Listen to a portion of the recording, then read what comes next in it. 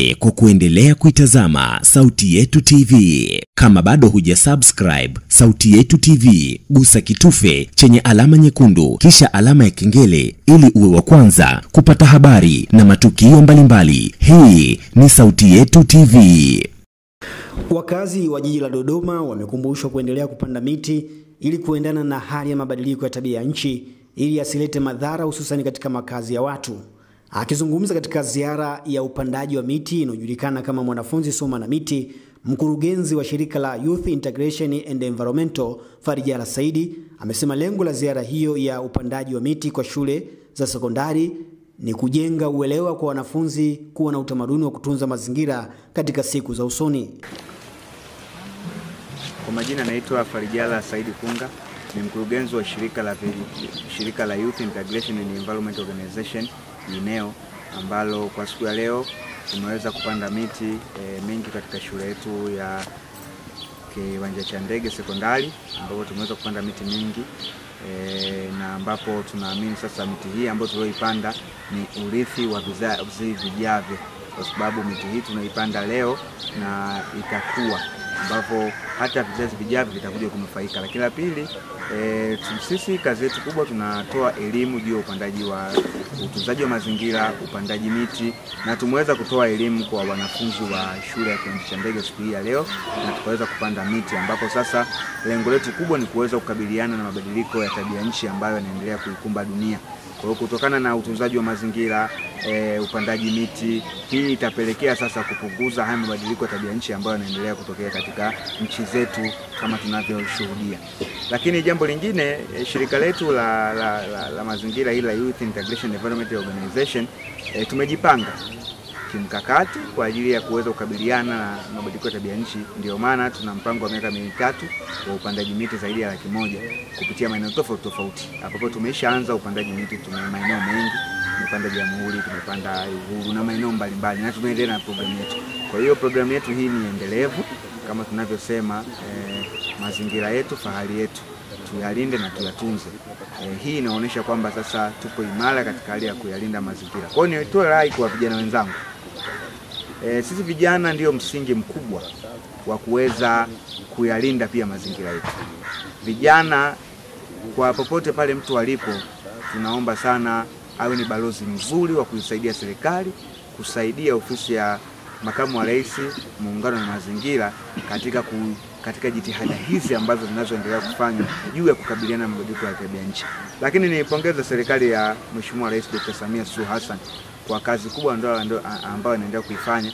Tumeona kopo ambayo iliyotoka sasa hivi kupata wadhamini e, tumekaomba udhamini kwa kuweza kwa kuweza kuweza kusapoti kukabiliana na mabadiliko ya tabia nchi. Huku nikimpongeza waziri e, Mheshimiwa Dr. Suleiman Jafo kwa kuwa wizara imeendelea na programu nzuri ya vijana e, ya wanafunzi soma na mti. Kwa mashule yote sasa hivi tunaendelea na upandaji miti kuweza kuhakikisha pia E, malengo ya wizara tunaweza kuyafanikisha na kuwaunga mkono kama ninavyosema, kijana soma na mti au soma na mti. Kwa hayo machache nawashukuru sana, lakini pia niupongeze uongozi wa shule ya kiwanja cha ndege kupitia mkuu wa shule Mwalimu Daniel kwa kutupokea vyema na kuweza kufanya zoezi letu hili ambayo tumepanda miti zaidi ya mia moja. Kwa upande wake mkuu wa shule sekondari ya kiwanja cha ndege Mwalimu Daniel Mpagama amesema kimsingi wamepokea kampeni hii kwa ukubwa wake kwani ina manufaa na hasa kukabiliana na mabadiliko ya tabia nchi pamoja na kupata maeneo kujisomea. Kwa majina ninaitwa Mwalimu Daniel John Mpagama, ni mkuu wa shule ya sekondari kiwanja cha ndege.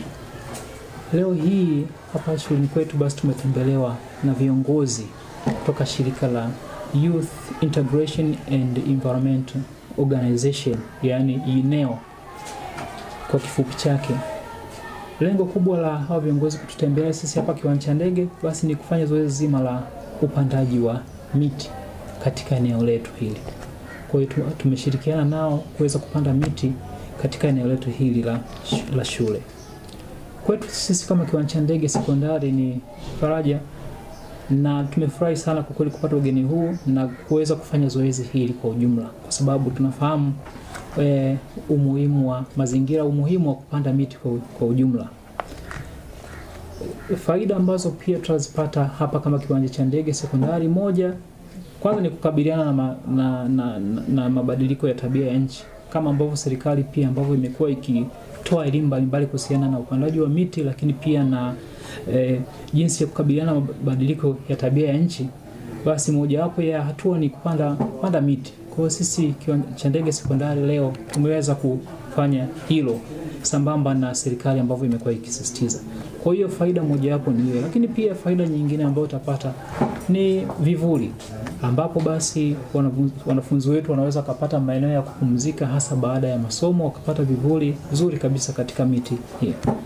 Lakini pia kutokana na eneo letu pia kuwa dogo, wakati mwingine watapata maeneo ya kuweza kujisomea wanafunzi wetu, sehemu nzuri ya kujisomea, kuweza kufanya discussion, basi na kuweza kupata maarifa au kuongeza maarifa zaidi kwa kile ambacho umejifunza darasani. Ni faida mojawapo ambayo tutaipata sisi hapa kama wana kiwanja cha ndege.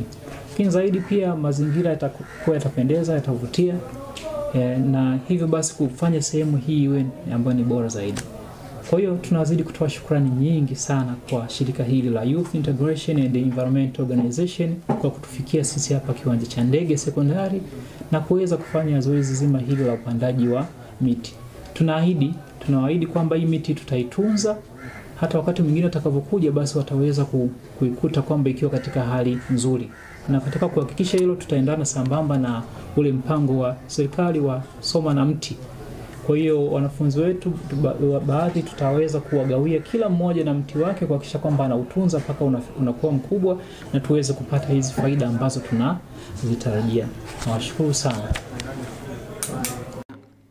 Wakitoa maoni yao, wanafunzi walioshiriki zoezi hilo la upandaji wa miti katika ziara hiyo maalum walikuwa na haya ya kusema. Kwa majina naitwa Samsoni Christopher Carlos, ni mwanafunzi wa Kiwanja cha Sekondari, nasoma kidato cha nne. Leo hii tunashukuru sisi kama wanafunzi kwa kupata zawadi hii ya miti ambayo miti hii tumeipokea na tumepanda, na pia miti hii kwa sababu ya ufinyu wa eneo la shule tumepewa na mingine tukapande nyumbani.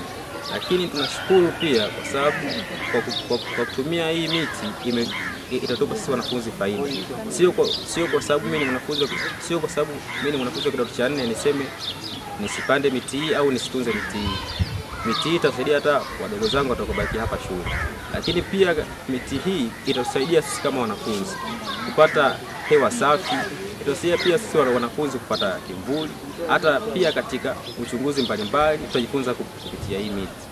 Tunashukuru, tunashukuru sana kwa sababu hichi kitu kimetujengea sisi kama wana, wanafunzi uwezo wa kutambua na kutunza mazingira, mazingira yetu, sio tu kwa sababu tuna, tunasoma tu, lakini pia tuna, tuna wajibu wa kutunza mazingira yetu na kuyalinda. Asanteni. Kwa majina naitwa Kieza Johannes Mawele, nasoma kidato cha nne katika shule ya Kiwanja cha Ndege Sekondari. Leo tumepanda miti katika shule kwetu.